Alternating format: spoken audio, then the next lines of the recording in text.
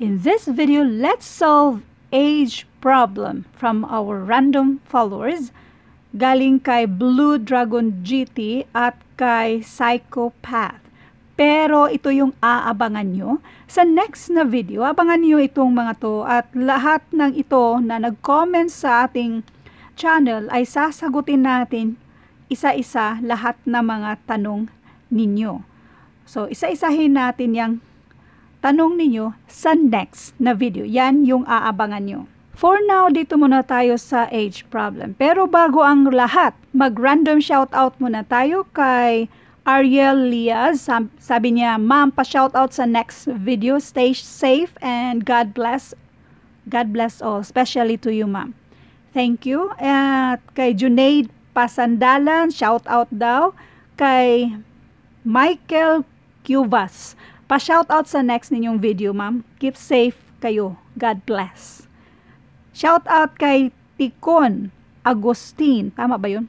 Tinkon Agustin. Shout out. God bless. Kay Josh, Josh JJ. Shout out sa inyo, madam. Uh, special thanks lang din sa the following kasi may mga magagandang comments sila at babasahin ko. Ang sabi ni Josh, ang galing mo po talaga Ma'am Leonalyn. Baka kung ikaw naging teacher ko nung high school, mabilis akong matuto. Thank you for that. Although hindi naman natin talaga mapiplease yung lahat, pero thankful ako sa mga taong nakaka-appreciate sa atin. Kay Henry Birong, sabi niya, magaling ka po mag-explain, ma'am. Thank you po. Di na po ako takot magsagot dahil sa inyo. Thank you so much sa inyo, sir. Dahil sa simpleng paraan, uh, kahit papaano may naka-appreciate sa atin. Kay BPLO,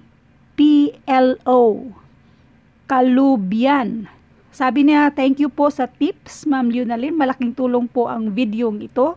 Galing niyo po magturo. Thank you so much. Super thank you talaga sa mga magagandang komento nyo kasi nagpapagaan talaga siya ng loob ba. Thank you, thank you. At dito na tayo sa tanong ni Psychopath. Sabi niya dito, actually matagal na to in-screenshot ko. So, ngayon sasagutan na natin. Jane is six times as old as her son, Peter. Four years ago, Peter's father was 30 times as old as his son Peter. The sum of their ages of all three in 10 years' time will be greater than 100 and in 15 years' time, the sum of the ages of all three will be less than the product of the age of Jane and Peter's age in three years' time from now. Parang daming given. Huwag kayong matakot sa mga given na yan. Tingnan mo naman yung tanong. Who is the eldest in the family? The father or the mother? Yan lang yung tanong. Para klaro lang, gawa tayo ng table. Tapos isulat natin si Jane. Tapos nandyan si Peter at saka si father. Then, yung now natin. Ang now natin dito sa given. Jane is six times as old as her son Peter. So let P be the edad of Peter.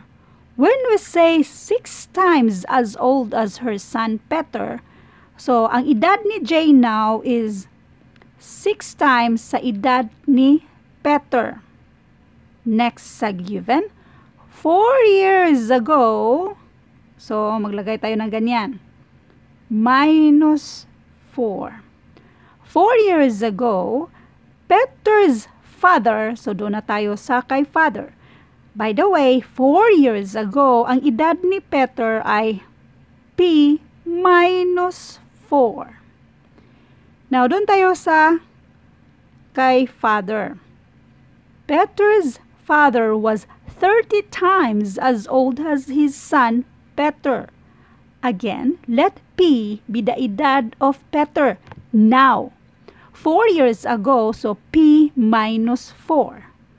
Now, kapag sinabing 30 times as old as his son Peter, which is, ang nakasulat dito ay 4 years ago. So, dito tayo sa column ng 4 years ago. 30 times, itong si father. 30 times P minus 4. Ngayon, since ang tat tinatanong lang naman dito ay who is the eldest in the family, the father or the mother, bali ang tanong ay si father ba or si mother.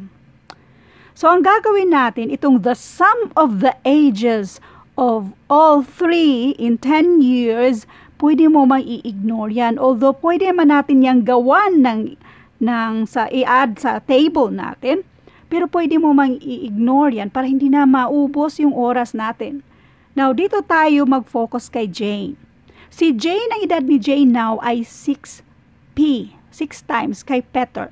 Now, 4 years ago, that means, minusan natin itong edad ni Jane ng 4. Yan yung edad niya 4 years ago.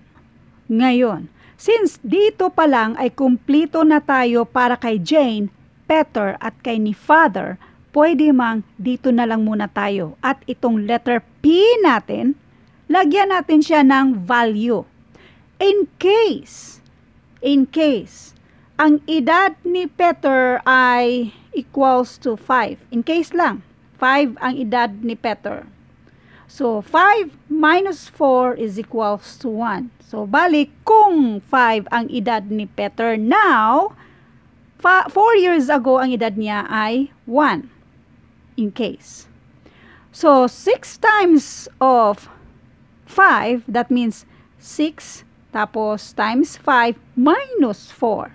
6 times 5 is equals to 30 minus 4 is equals to 26. Yan yung edad ni Jane 4 years ago. Example lang, kung si Peter ay 5 years old now. Ngayon, dito tayo sa father. So kung ang si Peter ay 5 years old, minus 4 that is equals to 1. So 1 times 30 and that is equals to 30. So si Jane, in case lang si Peter ay 5 years old, si Jane ay 26 nung 4 years ago at si father naman ay 30 years old nung 4 years ago. Kung sa tanong who is the eldest in the family, the father or the mother, the answer here is the father. Ngayon ang tanong, saan nga ba galing yung 5, ma'am, na edad ni Peter? Ina-identify lang natin ba? Kunwari lang yun. Pwede mo namang ilagay 1, 2, 3, 4, 5, 6, ganyan yung edad ni Peter. Kunwari lang. Pwede ring 10, 20, 15 ang edad ni Peter, pero pagdating naman sa father, based mismo sa given, magiging unrealistic kasi yung edad ni father. Pero ganun pa rin ang lalabas. Mas eldest or mas matanda si father.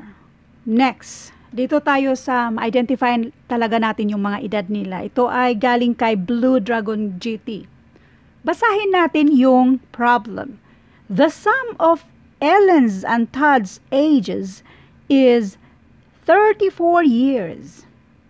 Five years ago, the sum of twice of Ellen's age and three times of Todd's age was 61 years. How old are they now? Isa-isahin natin. Kung ang tanong nyo ay paano na lang sa actual na exam, ma'am, ang haba-haba naman ng ginawa mong solusyon. So, sasagutin natin yan sa next na video kasi mayroon yung nag-comment regarding dyan at sasagutin natin yan. The sum of Ellen's and Todd's age is 34. Kapag sinabing sum, nag-add tayo. So, let E and T be their ages. Ito si Ellen, kunwari letter E, yung edad ni Ellen. Tapos, saman, kaya i-add natin yan siya. Si Tads, yan yung edad ni Tad, kunwari letter T. Wala pa man tayong value, kaya yung variables ang gamitin natin. Equals 34 daw yung sum nila. Now, 5 years ago, so mas maganda sigurong gawa tayo ng table para mas maganda. Ito si Ellen. Ellen. Tapos si Tad. Then, yung noun nila, edad nila now ay letter E. Yung variable lang natin muna kasi hindi pa natin alam kung ilan yung edad nila. Kapag sinabing 5 years ago, minus 5. So, 5 years ago, ang edad ni Ellen ay E minus 5, T minus 5. The sum, again, the sum of twice of Ellen's age, that time ha, ito, twice of Ellen's age. Yan yung edad ni Ellen 5 years ago is E minus 5. Twice dyan. And, so i-add mo yan. 3 times Tad's age. Ito yung edad ni Tad. T minus 5. 3 times daw dyan.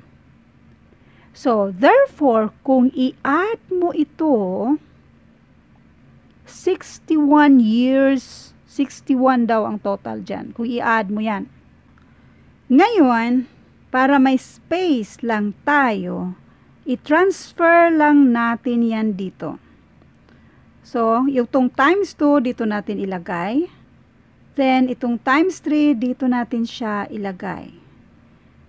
Para may space tayo, kasi isolve muna natin ito. 2 times e and that is 2e. 2 times negative 5 and that is negative 10. Next, 3 times t that is 3t. 3 times negative 5 and that is equals to negative 15. Ipagsama na lang muna natin itong mga like terms na ito. Negative 10 plus negative 15 and that is equals to negative 25. Ngayon, itong kabuhuan na ito, ito ito, sulat natin dito. I-rewrite natin. This is 2e plus 3t. Bakit ka nag-add, ma'am? Mag-add tayo kasi sum, sum ba? Plus 3t tapos itong negative 25 equals 61. Sum, the sum of twice the age and three times of Todd's age was 61. Kaya ito na yan. Next. Si negative 25 or minus 25, since pang minus siya dito, pang-add na siya kung i-transfer natin sa kabila kasi ipagsama natin yung mga like terms. So, so this will be 2e plus 3t equals 61 plus 25. Now, 61 plus itong 25 and that is equals to 86. So, this is equals to 86. Itong equation na ito ay i-combine natin sa e plus t, dito ba? equals 34. So, kung i-combine natin yan, isa sa kanila ang i-cancel out natin. Kung gusto mo itong letter E or letter T. Now, kung si E ang i-choose mo, dapat yung buong equation ay i-multiply natin ng 2 para yung E ang ma-minus natin. Kasi kopyahin lang natin itong 2E plus 3t equals 86. Itong 2, yan ang i-multiply natin sa buong equation dito. So this is 2e, multiply natin yan, plus 2t equals, i-multiply pa natin dito sa buong equation. And this is, uh, 34 times 2 is 68. I-minus natin yan para makancel out ito. Now, 3t minus 2t and that is equals to t. Isang t na lang. 86 minus 68 and that is equals to 18. So therefore, ang edad ni Tad ay 18 years old. Now kung si Tad ay 18 tapos yung kung i-add mo sa edad ni Ellen is equals to 34, mas madali na nating hanapin ang edad ni Ellen. So, E is equals to 34 minus 18 kasi si 18 pang add man kay Ellen. So, i-minus natin sa 34. 34 minus 18 and that is equals to 16. So therefore, si Ellen ay 16 years old. Now, sa tanong na how old are they now? Si Ellen ay 16 years old, si Tad naman ay 18 years old. Ngayon, gusto mo bang, gusto niyo bang i-double check natin kung tama ba yung 16 at 18? Una, doon tayo, dito tayo. The sum of Ellen's and Todd's ages is 34. Now, 16 plus 18, and that is obviously 34. 16 plus 18, and that is obviously 34. Now, i-continue natin yung double checking. 5 years ago, minus 5. 5 years ago. Di ba si Ellen ay 16? Tapos itong si Tad ay 18. So, 5 years ago, ang edad ni Ellen ay 11. Si Tad naman, ang edad ni Tad 5 years ago ay 13. The sum of twice of Ellen's age, so twice of uh, 11 is equals to 22. And 3 times of Tad's age, so 3 times of 13 is equals to 39. Ang sum daw ay 61. 61 daw ito. Tingnan mo. 22 plus 39 and that is exactly 61. So therefore, ang sagot na 16 at 18 sa mga edad nila ay tama. Thank you for watching at abangan sa next na video. Ito, ang mga tanong ninyo, isa-isahin natin yan sila. So, idetali lang natin, ipaklaro, iklaro lang natin, sagutan natin yan lahat para ma- malinawan kayo. Thank you for watching and God bless.